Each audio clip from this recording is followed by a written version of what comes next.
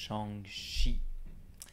J'ai été voir hier au cinéma et j'ai passé un super moment. J'ai passé un putain de bon moment de cinéma, comme assez peu on en a, comme assez peu j'en ai vécu. Euh, et je dis bien cinéma, parce que je pense que si vous projetez de le voir sur Disney Plus une fois qu'il sera sorti, d'être à la maison, non, je vous le recommande pas. C'est déjà avec le contexte actuel, on a, on a encore de la chance en fait de pouvoir aller au cinéma. Alors euh, vraiment, quand vous pouvez, profitez-en. Euh, et ça, ça va être un moment de cinéma comme euh, bah, vous en avez eu peu dans la vie. Alors, bien sûr, c'est subjectif. Hein. Peut-être qu'il y en a certains pour qui ça leur fera ni chaud ni froid. Mais pour moi, en fait, je le compare un peu à des moments de cinéma. alors, ça n'a rien à voir au niveau du film, mais je le compare à des moments de cinéma comme des Harry Potter. Ce moment où, en fait, on te fait rentrer dans un univers, on te lâche pas pendant euh, deux heures, et toi, tu es euh, pris dedans. Dans ce film, on, en fait, on te fait rentrer vraiment dans l'univers d'un truc en fait que tu ne connais pas. C'est pour ça en fait que je compare Harry Potter, c'est qu'au début, enfin, tu connais pas, à part si tu avais lu les livres, mais moi personnellement, je ne connaissais pas arrive à tout t'expliquer, à tout te contextualiser, à tout te faire te rendre compte des enjeux en un temps de deux heures, sans en fait te gaver d'informations et sans que tu te sentes vraiment oh là là j'en peux plus, je comprends plus rien.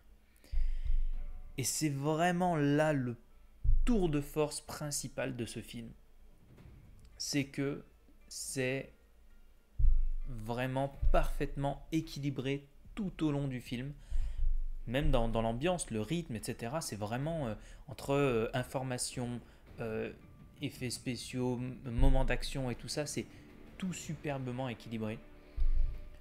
Le film est un feu d'artifice à lui-même, dans le sens où ça pète un peu de partout à n'importe quel moment et tu as un bouquet final. Vous voyez ce genre de bouquet final où tu te dis oh là mais vas-y mais euh, je, suis complètement dedans que je, ne réfléchis même plus. Vous voyez moi ça me fait penser un peu une sorte de, match de boxe où bah, tu as encore la force de te défendre donc tu es conscient. Et un moment où vraiment tu plus la force de te défendre et où tu te prends des coups et tu fais vas-y vas-y descends-moi mets-moi KO fous-moi des coups j'en peux plus. Bah là c'est un peu pareil. C'est à dire que le film là tu es en mode Vas-y, mets-moi en plein les yeux, euh, c'est bon, j'abandonne, vas-y, prends-moi, prends mon âme. Je spoil pas dans cette vidéo, mais vous comprendrez pourquoi j'ai dit prends mon âme. Directement en référence euh, au film. Mais c'est vraiment ça comme expérience. Et euh, c'était. ouais. J'ai envie de dire, avant ce film, vous m'auriez dit quel était ton meilleur Marvel. J'aurais réfléchi et puis j'aurais difficilement sorti un Doctor Strange parce que j'avais vécu un bon moment. C'est pas le meilleur pour beaucoup, hein, euh, je suis bien d'accord. Il y en a plein qui diront que ce serait peut-être des derniers Avengers, etc. Mais euh, je parle en termes d'expérience que j'ai vécue et puis même. En fait, j'aime bien ce, ces genres d'ambiance euh, asiatique. En fait. Je, vraiment, ça me touche ça. Je, puis à chaque fois, c'est super bien fait. On n'en a pas tant que ça. Donc je suis content que là, on ait vraiment une grosse production asiatique. Et à chaque fois quand c'est fait, c'est bien fait parce que tu as tous les préceptes, tu as tous les décors, tu as tous les, manières de parler, tu as tous les... C'est génial. Et autant mêlé avec la culture américaine, d'ailleurs il s'en joue euh, pas mal dans le, dans le film. Mais c'est pour ça aussi peut-être j'ai été touché par Doctor Strange. Moine tibétain, euh, les montagnes, les endroits reculés, tout ça. Enfin bref, c'est vraiment tous les, tous les leçons, les préceptes, même la, culture, la religion même de ça. Euh, je suis pas croyant, mais, euh, mais j'avoue que j'aime beaucoup leurs préceptes euh, et leur religion là-bas. Qui est une vidéo de religion, mais qui est centrée sur soi en fait. Et puis aussi, je suis pas sûr, mais je crois que cette culture-là fait en sorte que, ben, ok, ok, c'est fantastique comme, comme film. Ok, c'est pas, pas tout, tout n'est pas vrai dedans. Hein. Il y a des effets spéciaux, il y a des machins, voilà. En fait, la personne va se battre, ou quand elle va utiliser ses pouvoirs, c'est une, je le ressens comme une extension de la personne. Vous voyez, imaginez Doctor Strange, en fait, t'aurais limite l'impression que ça pourrait t'arriver si tu atteins l'illumination. Vous voyez, je vais peut-être un peu loin, mais c'est pour dire que ouais, Doctor Strange, bon, il fait des espèces de, de machins, il se concentre et tout, et puis il arrive en fait à, euh, à ouvrir des portails, des machins, etc. Et euh, quand tu vois, alors, certes, les anneaux, voilà, ça c'est un truc qui est, très, euh, du coup, qui est, impossible dans la, dans la vraie vie.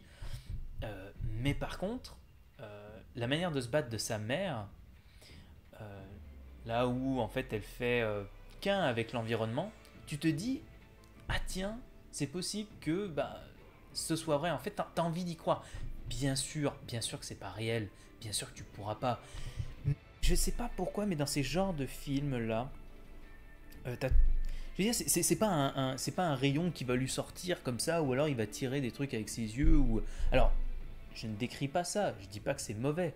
Je dis juste que moi je suis touché par le fait de dire parce que je peux m'y projeter, vous voyez, le fait de dire que ben tu vois un personnage dans le film et tu peux limite t'y projeter parce que euh, tu pourrais pratiquement entre guillemets faire la même chose. Et ça j'adore. Ça, ça me touche beaucoup.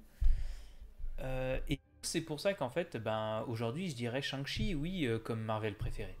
Parce qu'il m'en a mis plein la gueule. Euh, en, parlant de, rayons d'énergie, tout ça, ça m'a fait aussi beaucoup penser à Dragon Ball Z. Et, et le truc, c'est que, alors je vais pas spoiler, mais bon, vous avez, un, vous avez peut-être l'image dans la tête qui pourrait vous, vous montrer pourquoi ça me fait penser à ça. Mais il y a le fait qu'en plus, il y a un dialogue à la fin qui assume complètement ça. Et, allez, petit spoil, il- spoil, il y a le mot Kamehameha. Voilà. C'est tout. C'était juste pour ce petit spoil, mais vraiment quand j'ai... En fait, au début, je pensais à ça quand je voyais le film, même s'il fait pas un Kamehameha, hein, voilà, il n'y a pas de Kamehameha dans le film, mais ça, te fait penser. Et je me disais, ah tiens, on dirait ça et tout, serait trop bien. Comme le fait qu'ils en parlent à la fin, comme ils disent le mot Kamehameha, ça veut dire qu'ils l'assument en fait. Ils assument cette référence. Et, et- et j'a- et j'adore. En fait, le fait que rien que le fait qu'ils assument, je trouve ça trop cool. Je trouve ça mais trop énorme. Voilà. Euh, que dire de plus sans spoiler? Moi, ça m'intéresse pas de spoiler, à part peut-être dans un débat. Moi, ça m'intéresserait, tiens, de faire un débat avec vous. Prochainement, on en fera un. Ouais. On va faire ça. Parce que j'ai vraiment envie de, re- de revenir sur des détails du film. Là, je vois les, images derrière et il y a beaucoup de choses où j'ai envie de revenir, mais pas ici. Avec vous, je pense que ce serait vraiment cool. Euh, mais sinon, voilà, que dire de plus à part que bah, j'ai passé vraiment un grand moment.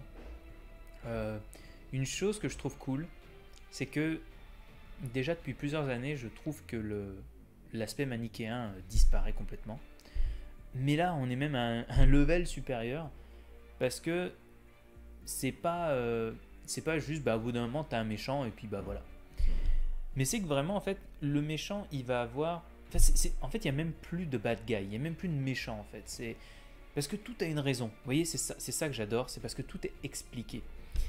Même le bad guy entre guillemets du film, eh ben, au début tu fais ah ouais c'est peut-être lui, au milieu tu fais ah non peut-être pas, et puis à la fin bon bah tu comprends. Mais ce qui est génial, c'est que tout a une explication. C'est-à-dire que quelqu'un ne naît pas méchant. Vous voyez ce que je veux dire? Il ne naît pas méchant et c'est pas bah, lui c'est un méchant parce que c'est un méchant, parce qu'il est méchant. Non, non, non, c'est pas ça du tout.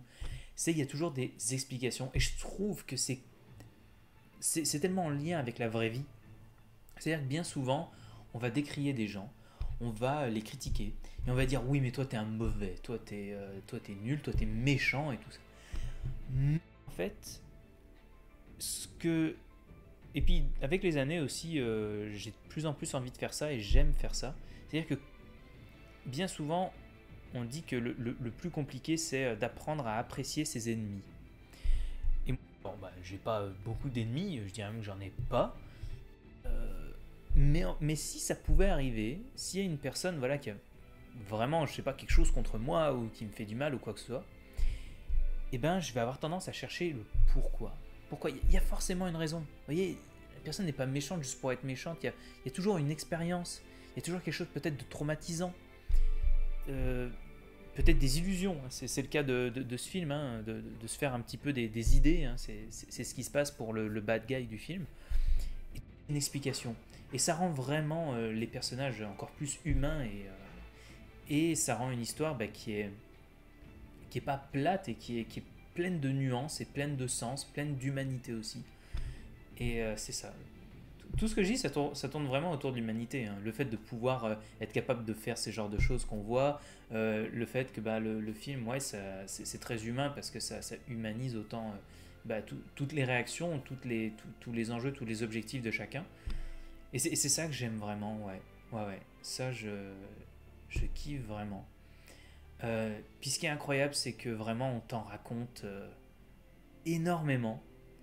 Et on arrive à tout te faire comprendre dans, euh, dans un deux heures de film sans, sans que t'en sois gavé. Et ça, c'est un, un énorme tour de force. Parce que tu t'ennuies pas, parce que tu es pris dans l'histoire, parce que tu y crois. Et bah, parce que, bah, je sais pas, moi, il pourrait y avoir. moi, tu, tu me mets 6-8, voilà. Tu me fais, euh, tu me fais 7 films comme ça, avec des suites à chaque fois et tout, mais vas-y, mais je prends parce que je, suis rentré dans cet univers. Et je trouve ça incroyable qu'en fait, en deux heures, on arrive autant à te mettre autant d'informations, à te faire comprendre, à te sensibiliser, à te faire comprendre les enjeux, à te faire t'attacher au personnage. Je trouve ça vraiment fou. Je trouve ça vraiment fou. Euh, je sais pas si c'est un boulot du réalisateur, si c'est un boulot des scénaristes ou les deux mélangés ou j'en sais rien, mais c'est un boulot de malade mental. Parce que tu as beaucoup de films qui se plantent là-dessus. Euh, et là, ben non. Enfin, même j'ai eu l'impression que le film a duré 3 heures, alors qu'il n'en dure que 2h05, un truc comme ça. Donc, véritable tour de force. Euh, voilà, je crois que j'ai pas plus à en dire. Comme j'ai dit, euh, on pourra en parler entre nous pour organiser un débat pour aller plus loin, parce que je vois des, images, par exemple là, là, bah là, ce qu'on voit, rien que, ben, c'est un peu les, deux, les deux clans un peu du film, et puis la manière de se battre là de, de, la mère du héros, mais c'est génial et ça ça touche à tes préceptes qui sont euh, qui sont vraiment dingues et puis ah je, je sais pas ouais je suis au plus j'en parle là au plus au plus j'aime encore euh, ce film c'était vraiment euh, c'est vraiment un moment un moment de fou.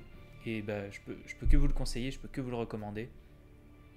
Voilà je crois que j'ai rien de plus à dire ouais sinon ce serait de la redite écoutez sur ce je peux que vous conseiller d'aller le voir. Passez un bon moment. Et puis si vous l'avez vu, bah, n'hésitez pas à m'en dire ce que vous en avez pensé. Sur ce, je vous laisse. Je vous souhaite de bien tenir aux occupations. Ciao à tous.